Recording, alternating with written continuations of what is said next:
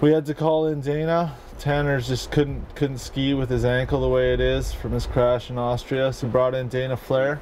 Tanner took off in uh, just in hopes to get his ankle a little bit better for Haines coming up. We're heading to Alaska in uh, a few weeks. The weather was still not very good, so he was able to show up and not miss a beat. And uh, the slow roast is basically when we're hanging out all day around the lodge. The art of the slow roast.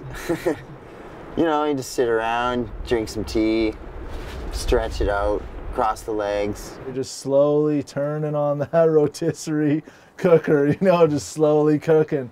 And uh, that's pretty much daily life here. Eat some food, watch some TV, check out the movies, kind of just whatever you can think of, really, because uh, there's not a whole lot to do outside, and I guess you just gotta learn how to play piano or something.